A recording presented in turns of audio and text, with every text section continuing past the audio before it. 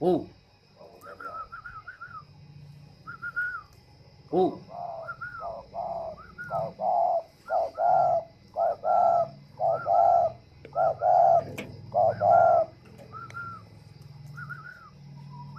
Ô.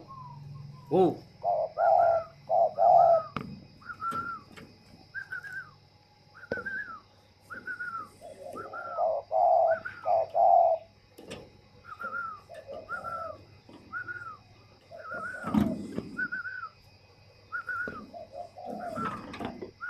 này, rất là căng nhá.